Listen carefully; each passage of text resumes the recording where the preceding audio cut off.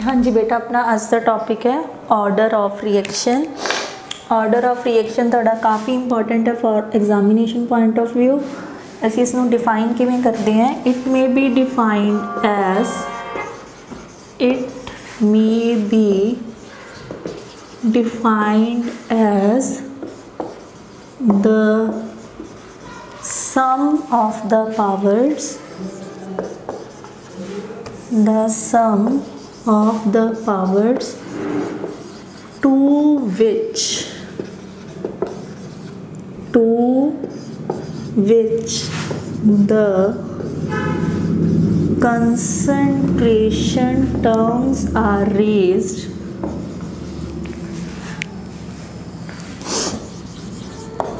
In the rate law expression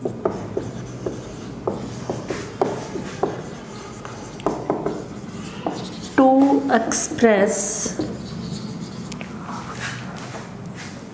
the observed rate of reaction.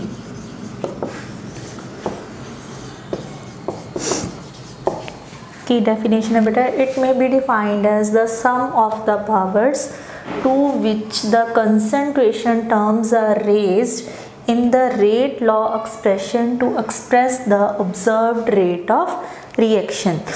आप पहला वाले lecture discuss किया फॉर एग्ज़ाम्पल अपने को तीन मॉलीक्यूल्स ने ए बी प्लस सी और अपने को प्रोडक्ट बन रहे let it be D plus E ठीक है मान लो कि ए मोल्स ए देने बी मोल बी देने और सी मोल्स सी देने तो according to law of mass action असी की पढ़िया rate will be equal to the product of concentrations A, B and C with each concentration term raised to the power as given by the balanced chemical equation but ये definition किस दी सी law of mass action उस तो बाद आया सी अपने को rate law expression rate law expression ਦੇ ਵਿੱਚ ਉਸਨੇ ਰੇਟ ਨੂੰ ਕਿਵੇਂ ਡਿਫਾਈਨ ਕੀਤਾ? Rate will be equal to k again the product of molar concentration of reactants but ਜੋ ਇਹਨਾਂ ਦੀਆਂ ਪਾਵਰਸ ਨੇ, ਉਹ ਜ਼ਰੂਰੀ ਨਹੀਂ ਹੈ ਕਿ ਜੋ ਤੁਹਾਨੂੰ ਬੈਲੈਂਸਡ ਕੈਮੀਕਲ ਇਕੁਏਸ਼ਨ ਚ ਦਿਖ ਰਿਹਾ ਹੈ, ਉਹੀ ਹੋਣ। ਇਹ ਜਿਹੜੀਆਂ ਪਾਵਰਸ ਨੇ they can be different let it be P Q R ਇਹਨਾਂ ਦੀ ਪਾਵਰਸ ਦੇ ਵਿੱਚ ਫ਼ਰਕ ਹੋ ਸਕਦਾ ਹੈ। ਤਾਂ ਆਰਡਰ ਆਫ ਰਿਐਕਸ਼ਨ ਕੀ ਹੈ? ਕਿ ਜੋ ਤੁਹਾਡਾ ਰੇਟ ਲਾਅ ਐਕਸਪ੍ਰੈਸ਼ਨ ਕਹਿ ਰਿਹਾ ਹੈ ਉਸ ਦੇ ਅਕੋਰਡਿੰਗ ਜੋ ਤੁਹਾਡੀਆਂ ਇਹ ਪਾਵਰਸ ਨੇ ਮੀਨਸ ਪੀ ਕਿਊ ਆਰ ਉਸ ਨੂੰ ਤੁਸੀਂ ਉਸ ਦਾ ਕੀ ਲੈ ਲੈਣਾ sum means P plus Q plus R ਤਾਂ ਇਹ ਇਸ ਰਿਐਕਸ਼ਨ ਦਾ ਕੀ ਹੋਏਗਾ? ਆਰਡਰ ਤਾਂ ਕਿਵੇਂ ਡਿਫਾਈਨ ਕੀਤਾ ਸੀ? It may be defined as the sum of the powers बेटा, आप पावर्स ने सी मना सम ले लिया P plus Q plus R ਔਰ ਉਹ ਤੁਸੀਂ ਜਿਹੜਾ ਸਮ ਲੈਣਾ ਹੈ, ਉਹ ਕਿਹੜੇ ਐਕਸਪ੍ਰੈਸ਼ਨ ਦਾ ਲੈਣਾ ਹੈ? ਰੇਟ ਲਾਅ ਐਕਸਪ੍ਰੈਸ਼ਨ ਦਾ, ਨਾ ਕਿ ਲਾਅ ਆਫ ਮਾਸ ਐਕਸ਼ਨ ਦਾ। ਬਟ ਐਗਜ਼ਾਮਸ ਦੇ ਵਿੱਚ ਜਦੋਂ ਵੀ ਤੁਹਾਨੂੰ ਇਹ ਨੂਮੈਰੀਕਲ ਆਉਂਦਾ ਹੈ, ਤਾਂ ਤੁਹਾਨੂੰ ਹਮੇਸ਼ਾ ਰੇਟ ਲਾਅ ਐਕਸਪ੍ਰੈਸ਼ਨ ਹੀ ਗਿਵਨ ਹੁੰਦਾ ਹੈ। ਤੁਸੀਂ ਜੋ ਪਾਵਰਸ ਨੇ, ਉਹਨਾਂ ਦਾ ਸਿੰਪਲੀ ਕੀ ਕਰ ਦੇਣਾ ਸਮ ਤਾਂ ਉਹ ਤੁਹਾਡਾ ਕੀ ਆ ਜਾਏਗਾ? ਆਰਡਰ ਆਫ ਰਿਐਕਸ਼ਨ ਠੀਕ ਹੈ? ਤਾਂ ਹੁਣ ਇਹ ਜੋ ਆਰਡਰ ਹੈ, ਇਹ ਹਮੇਸ਼ਾ ਕੀ ਹੁੰਦਾ ਹੈ? whole number but sometimes it can be in fraction also usually ਤਾਂ ਆਪਾਂ ਇੱਥੇ word ਹਮੇਸ਼ਾ ਨਹੀਂ ਯੂਜ਼ ਕਰਾਂਗੇ usually ਜੋ order ਹੈ order can be 1 2 3 usually ਤਾਂ ਇਹ whole number ਹੈ but sometimes it can be in fraction also fraction का मतलब है बेटे it can be 1.5, 2.5, 3.4 so on ठीक है? एंड इवन ज़ीरो आल्सो ठीक है? कुछ कुछ टिपिकल केसिस जो ऑर्डर है वह ज़ीरो भी हो सकता है। तो यदिया वैल्यू सारिया पॉसीबल ने zero one two three even in fraction but negative value कभी नहीं होगी हमेशा की होनगियाँ ਪੋਜ਼ਿਟਿਵ ਵੈਲਿਊਜ਼ ਠੀਕ ਹੈ?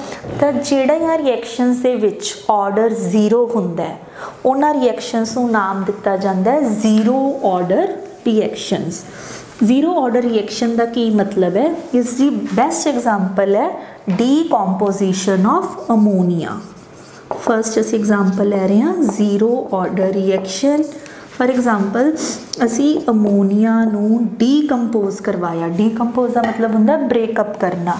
और ये ब्रेकअप हो रहा है into N two plus three H two balance chemical equation will be two N H three gives us N two plus three H two ये जो डीकंपोजिशन हो रही है बेटे, ये in the presence of metal catalyst होंगी है। और experimentally it is found that rate is K concentration of reactant reactant only ammonia ही है बेटा। बट यदि जो पावर है, वो की है ज़ीरो तब because power is zero this reaction is known as zero order reaction similarly it can be first order first order का मतलब होएगा कि जो sum of powers it should be one the first order reaction की example ले सकते हैं ऐसे। First order reaction for example P C L five decomposes into P C L three and C L two here rate will be equal to K concentration of PCl5 with power 1 ਤਾਂ ਜਦੋਂ power 1 ਹੈ ਤਾਂ ਉਹ ਕਿਹੜੀ reaction ਬਣ ਜੇਗੀ first order reaction similarly ਬੇਟਾ ਜੇ ਇੱਥੇ ਦੋ ਰਿਐਕਟੈਂਟਸ ਹੋਣ ਠੀਕ ਹੈ ਤੁਸੀਂ ਇਹਦੀ ਐਗਜ਼ਾਮਪਲ ਲੈ ਲਓ 2NO2 gives us 2NO plus O2 ਤਾਂ ਇੱਥੇ ਰੇਟ ਕੀ ਬਣ ਜਾਏਗਾ rate will be equal to K into NO2 square. तो बिकॉज़ पावर टू बन गई तो एक एडी रिएक्शन बन जाएगी बेटा। Second order reaction similarly it can be third order also चाहे बेटा सम ऑफ पावर्स टू बने चाहे सिर्फ एक रिएक्टेंट की पावर टू है ਅਸੀਂ ਉਹਨੂੰ ਕਿਹੜੀ ਰਿਐਕਸ਼ਨ ਲੈਣੇ ਆ second order reaction it can be third order also it can be in fraction also 1.5 2.5 and so on ਠੀਕ ਹੈ so this is your order of reaction next जो इम्पॉर्टेंट टॉपिक है थोड़ा that is units of rate of reaction for different order reaction. This is again important for your exam. Units of rate constant for different order reactions.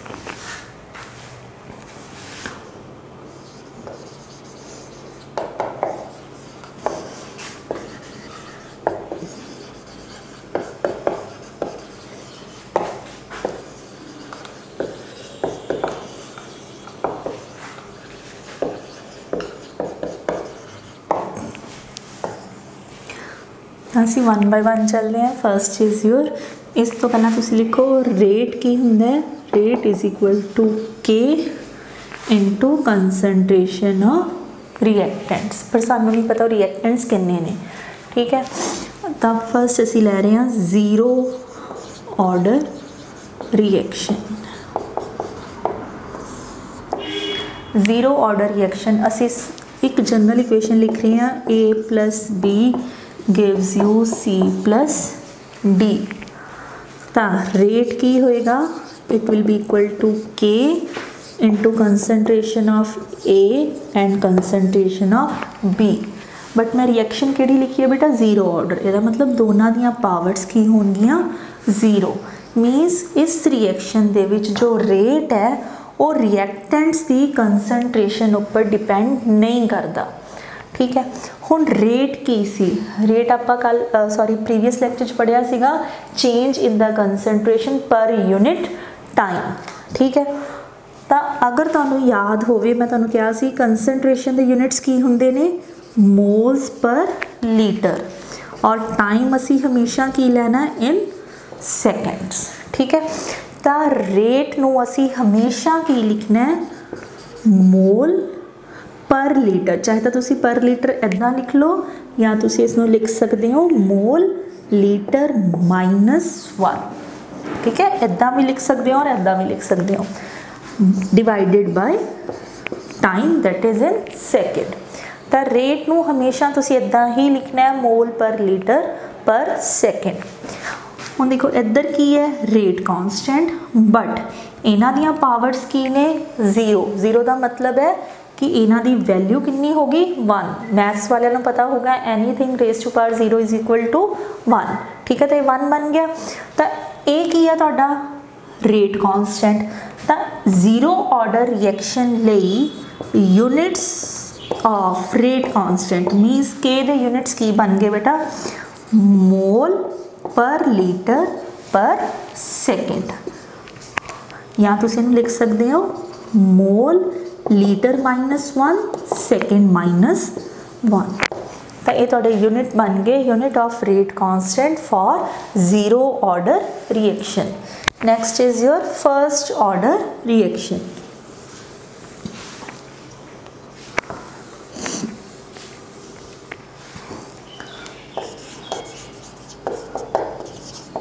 again मान लो कि कोई A reactant है तो product बन रहे हैं C plus D the first order reaction का मतलब है rate will be dependent upon the concentration of the reactant but its power should be 1 first order ਦਾ ਮਤਲਬ ਕੀ ਹੈ ਕਿ ਜਿਹੜਾ ਉਹ ਸਮ ਆਫ ਦਾ ਪਾਵਰਸ ਹੈ ਉਹ ਹਮੇਸ਼ਾ ਕੀ ਹੋਣਾ ਚਾਹੀਦਾ ਹੈ 1 ਤਾਂ ਹੁਣ ਇੱਥੇ ਆਪਾਂ ਇਹਦੇ ਯੂਨਿਟਸ ਨੂੰ ਕਿਵੇਂ ਫਾਈਂਡ ਆਊਟ ਕਰਨਾ ਹੈ ਦੇਖੋ ਰੇਟ ਦੇ ਯੂਨਿਟਸ ਹਮੇਸ਼ਾ ਕੀ ਲਿਖਨੇ ਨੇ mall litre minus 1 per second ਜਾਂ ਅਗਰ ਤੁਹਾਨੂੰ ਇਦਾਂ ਲਿਖਣਾ ਔਖਾ ਲੱਗਦਾ ਬੇਟੇ, ਤੁਸੀਂ ਇਸ ਇਸ ਵੀ ਤਰੀਕੇ ਨਾਲ ਵੀ ਲਿਖ ਸਕਦੇ ਹੋ, mole litre minus 1 second minus 1 ਠੀਕ ਹੈ?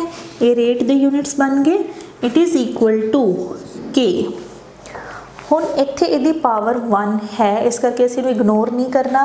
ਕਨਸੈਂਟ੍ਰੇਸ਼ਨ ਦੇ ਯੂਨਿਟਸ ਕੀ ਹੁੰਦੇ ਨੇ ਬੇਟਾ? Mole per litre. Means mole litre minus 1 ਠੀਕ ਹੈ ਕਨਸੈਂਟ੍ਰੇਸ਼ਨ ਦੇ ਯੂਨਿਟਸ ਕੀ ਨੇ ਮੋਲ ਪਰ ਲੀਟਰ ਤਾਂ mole per litre mole per litre cancel out ਹੋ ਗਿਆ ਤਾਂ ਇਸ ਕੇਸ ਦੇ ਵਿੱਚ ਯੂਨਿਟਸ ਆਫ ਰੇਟ ਕਾਂਸਟੈਂਟ ਕੀ ਆ ਜਾਏਗਾ ਤੁਹਾਡਾ second inverse second minus 1 clear rate दे यूनिट्स हमेशा की लिखने ने moles per litre per second other concentration की पावर वन पर डिपेंडेंट है. इस करके तुम इसके यूनिट्स लेने पैणगे moles per litre moles per litre moles per litre cancel out हो जाएँगे.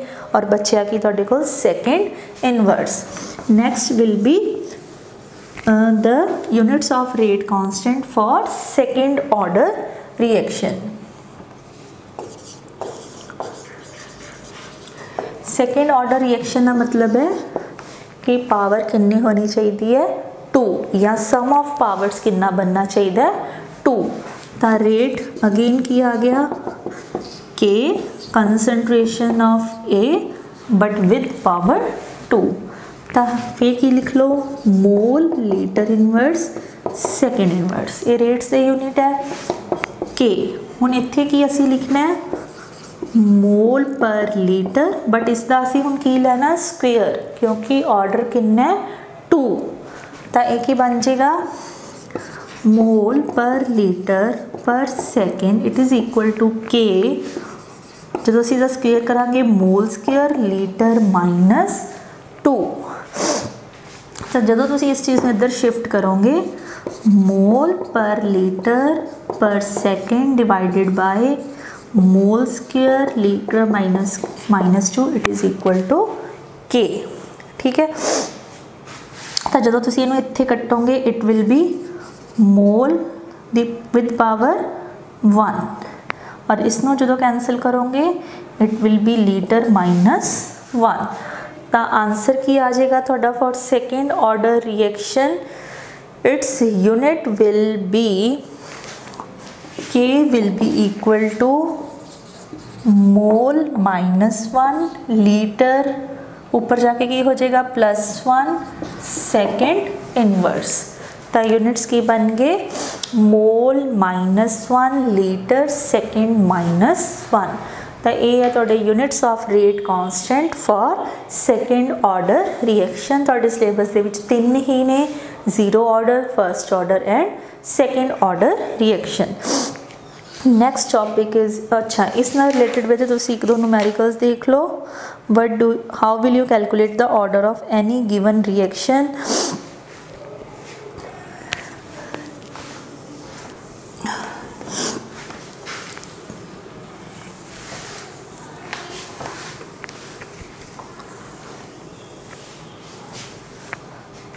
तो थोड़े को फॉर एग्ज़ाम्पल आया हुआ calculate the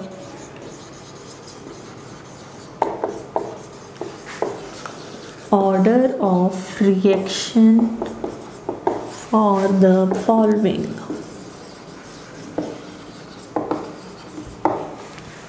Okay.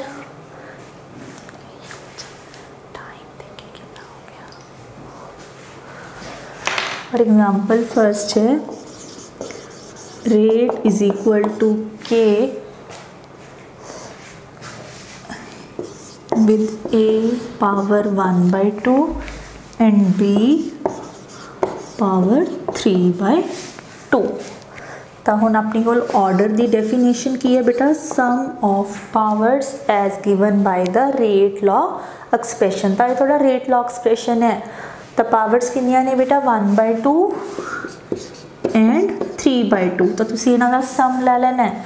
एक बन जाएगा four by two is equal to 2 so it will be your second order reaction. ठीक है? तो कि बन जाएगी थोड़ी सैकेंड ऑर्डर रिएक्शन नैक्सट है तो तुम दिता हुआ है रेट इज़ इक्वल टू के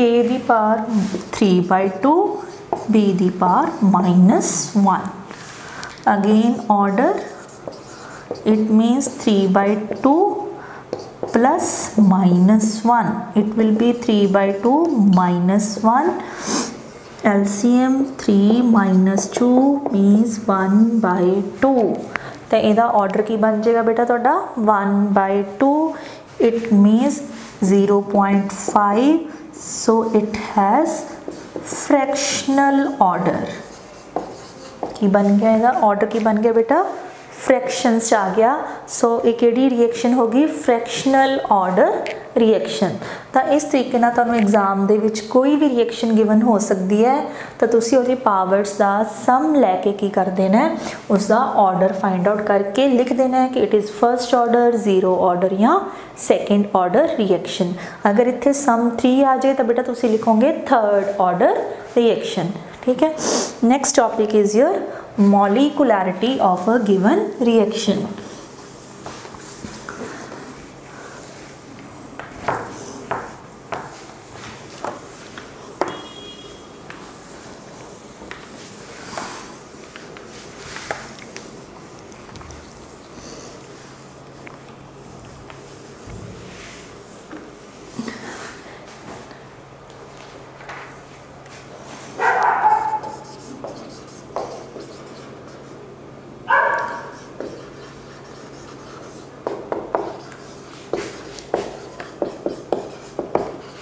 molecularity of reaction the molecularity of a reaction असं किमें डिफाइन करते हैं।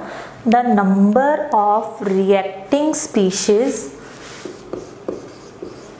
the number of reacting species which collide simultaneously to bring about any chemical reaction ਤਾਂ ਕਿਸੇ ਵੀ ਕੈਮੀਕਲ ਰਿਐਕਸ਼ਨ ਦੇ ਹੋਣ ਲਈ ਜਿੰਨੇ ਮੋਲੀਕਿਊਲਸ ਜਾਂ ਜਿੰਨੀਆਂ ਵੀ ਸਪੀਸੀਜ਼ ਆਪਸ ਦੇ ਵਿੱਚ ਇਕੱਠੀਆਂ ਟਕਰਾਉਂਦੀਆਂ ਨੇ। ਸਾਈਮਲਟੇਨੀਅਸਲੀ ਦਾ ਮਤਲਬ ਹੈ ਇਕੱਠੀਆਂ ਟਕਰਾਉਂਦੀਆਂ ਨੇ ਤਾਂ ਕਿ ਰਿਐਕਸ਼ਨ ਹੋ ਸਕੇ।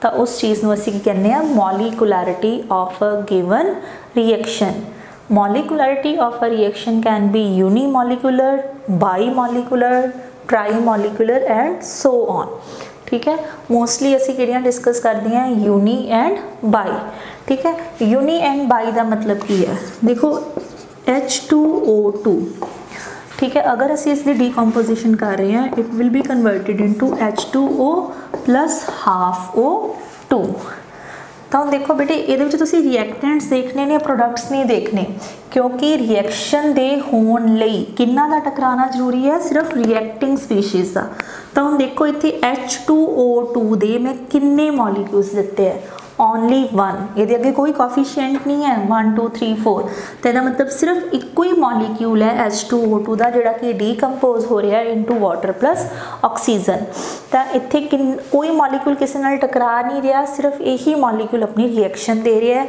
ਤਾਂ ਇਦਾਂ ਦੀਆਂ ਰਿਐਕਸ਼ਨਸ ਨੂੰ ਅਸੀਂ ਕੀ ਕਹਿੰਦੇ ਆ ਯੂਨੀ ਮੋਲੀਕਿਊਲਰ ਰਿਐਕਸ਼ਨਸ ਠੀਕ ਹੈ ਬੇਟਾ because the number of molecule is 1 next ਆ ਗਿਆ, ਅਗਰ ਮੰਨ ਲਓ ਹਾਈਡਰੋਜਨ ਆਇਓਡਾਈਡ ਦੀ ਅਸੀਂ ਡੀਕੰਪੋਜੀਸ਼ਨ ਲੈਣੇ ਹੈ ਇਨਟੂ H2 I2 ਹੁਣ ਦੇਖੋ, ਅਗਰ ਅਸੀਂ ਇਸ ਨੂੰ ਬੈਲੈਂਸ ਕਰਾਂਗੇ, ਇੱਥੇ ਸਾਨੂੰ 2 ਪੁੱਟ ਕਰਨਾ ਪਏਗਾ। ਤਾਂ ਹੁਣ ਇਸ ਕੇਸ ਦੇ ਵਿੱਚ ਕਿੰਨੇ ਰਿਐਕਟਿੰਗ ਮੋਲੀਕਿਊਲਸ ਨੇ? 2 ਦੇਖੋ, ਇੱਕ HI ਦਾ ਮੋਲੀਕਿਊਲ ਹੈ ਔਰ ਦੂਸਰਾ HI ਦਾ ਮੋਲੀਕਿਊਲ ਹੈ, ਇਹ ਆਪਸ ਦੇ ਵਿੱਚ ਕੋਲਾਈਡ ਕਰ ਰਹੇ ਨੇ ਤਾਂ ਕਿ ਇਹਨਾਂ ਦੀਆਂ ਬੌਂਡਸ ਬ੍ਰੇਕ ਹੋਣ।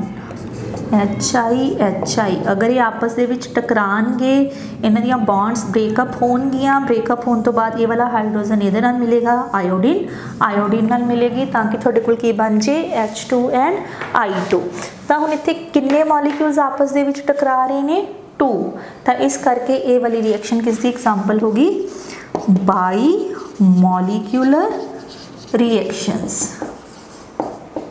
ਠੀਕ ਹੈ ਸਿਮਿਲਰਲੀ ਅਗਰ ਤੁਹਾਡੇ ਕੋਲ ਤਿੰਨ ਮੋਲੀਕਿਊਲਸ ਟਕਰਾ ਜਾਣ 2NO O2 2NO2 ਠੀਕ ਹੈ ਬੇਟਾ ਤਾਂ ਇੱਥੇ ਜਦੋਂ ਅਸੀਂ ਇਹਨੂੰ ਬੈਲੈਂਸ ਕਰਾਂਗੇ ਇਟ ਵਿਲ ਬੀ 2 ਨਹੀਂ ਸੌਰੀ ਬੇਟਾ ਇੱਥੇ ਨਹੀਂ ਆਲਰੇਡੀ ਬੈਲੈਂਸਡ ਤਾਂ ਹੁਣ ਦੇਖੋ, ਇਹਦੇ ਵਿੱਚ ਕਿੰਨੇ ਮੋਲੀਕਿਊਲਸ ਸਟ੍ਰਾਈਕ ਕਰ ਰਹੇ ਆ?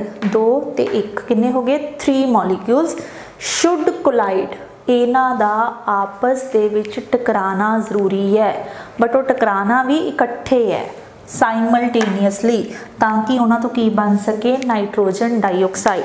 ਮੀਨਸ 1 2 ਐਂਡ 3 ਜਦੋਂ ਇਹ ਦੋਨੋਂ ਟਕਰਾ ਰਹੇ ਨੇ, ਉਸ ਟਾਈਮ ਤੇ ਹੀ ਇਸ ਨੂੰ ਇਹਦੇ ਨਾਲ ਟਕਰਾਣਾ ਪਏਗਾ ਤਾਂ ਕਿ ਰਿਐਕਸ਼ਨ ਹੋ ਸਕੇ।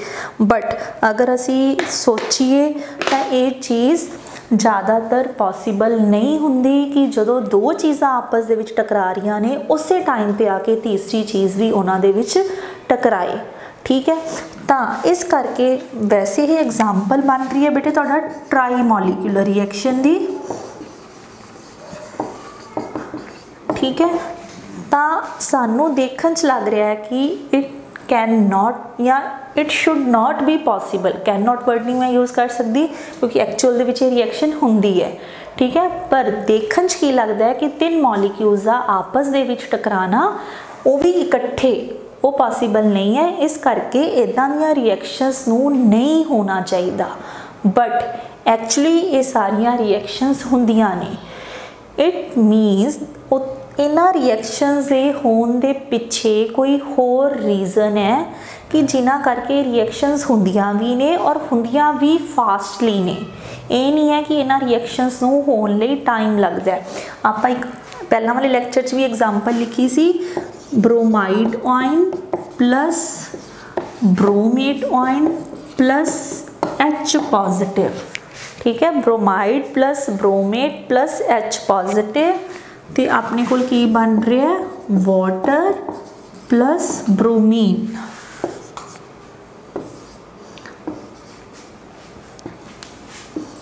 ਠੀਕ ਹੈ? ਅਗਰ ਤੁਸੀਂ ਹੁਣ ਇਸ ਰਿਐਕਸ਼ਨ ਨੂੰ ਦੇਖੋ, ਤੇ ਇਹਦੇ ਵਿੱਚ ਕਿੰਨੇ ਮੋਲੀਕਿਊਲਸ ਆਪਸ ਦੇ ਵਿੱਚ ਇਕੱਠੇ ਟਕਰਾਣਾ ਜ਼ਰੂਰੀ ਹੈ। 5 1 6 6 12 ਤਾਂ 12 ਮੋਲੀਕਿਊਲਸ ਤਾਂ ਇਕੱਠੇ ਨਹੀਂ ਟਕਰਾ ਸਕਦੇ ਇਟ ਮੀਨਸ ਇਹ ਰਿਐਕਸ਼ਨ ਤਾਂ ਪੋਸੀਬਲ ਹੀ ਨਹੀਂ ਹੋਣੀ ਚਾਹੀਦੀ but experimentally it is proved that this reaction occurs and also at very high speed means ਇਹ ਰਿਐਕਸ਼ਨ ਹੁੰਦੀ ਤਾਂ ਹੈ ਹੀ ਇਸ ਤੋਂ ਇਲਾਵਾ ਇਸ ਦੀ ਸਪੀਡ ਵੀ ਬਹੁਤ ਜ਼ਿਆਦਾ ਹੁੰਦੀ ਹੈ ਤਾਂ ਉਹ ਕਿਹੜਾ ਫੈਕਟਰ ਹੈ ਜਿਹੜਾ ਇਦਾਂ ਦੀਆਂ ਰਿਐਕਸ਼ਨਸ ਨੂੰ ਕਰਨ ਦੇ ਵਿੱਚ ਹੈਲਪ ਕਰਦਾ ਹੈ?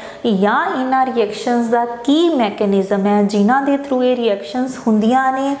That we will discuss in our next lecture ਕਿ ਹਾਂ, ਇਹ ਰਿਐਕਸ਼ਨਸ ਪੋਸੀਬਲ ਨੇ ਤੇ ਉਹਨਾਂ ਦੇ ਪਿੱਛੇ ਕੀ ਰੀਜ਼ਨ ਹੈ, ਕਿਵੇਂ ਇਹ ਸਾਰਾ ਕੁਝ ਹੁੰਦਾ ਹੈ, ਉਹ ਆਪਾਂ ਨੈਕਸਟ ਲੈਕਚਰ ਦੇ ਵਿੱਚ ਡਿਸਕਸ ਕਰਾਂਗੇ। ਹਲੇ ਤੱਕ ਤੁਸੀਂ ਆਪਣਾ ਇੰਨਾ ਹੀ ਰਿਵਾਈਜ਼ ਕਰਨਾ ਹੈ।